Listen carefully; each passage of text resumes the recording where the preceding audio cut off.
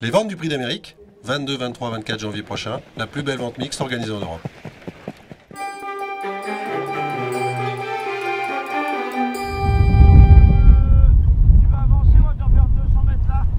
Patrick Saphir de Morge, il en est où en ce moment?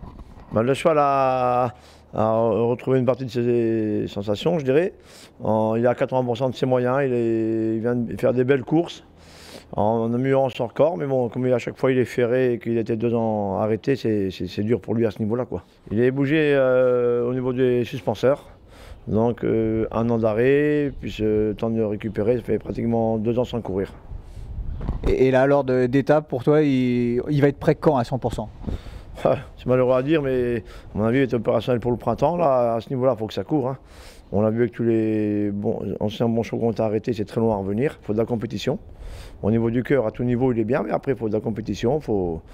Le, niveau est de plus en plus élevé, puis il a besoin de, courir pour retrouver ses sensations. La dernière fois, il est, il est 7-8e, il court très bien.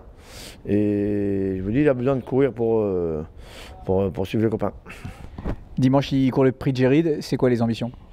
Bah là, par rapport à Vincennes, c'est la petite piste, c'est 2200 mètres, c'est son élément. Mais euh, au, vu des engagés, avec tous, ces, tous les hongres qu'il a engagés, euh, c'est des petits cornuliers, ça. Hein. les meilleurs chevaux montés en ce moment, c'est pratiquement des, hongres.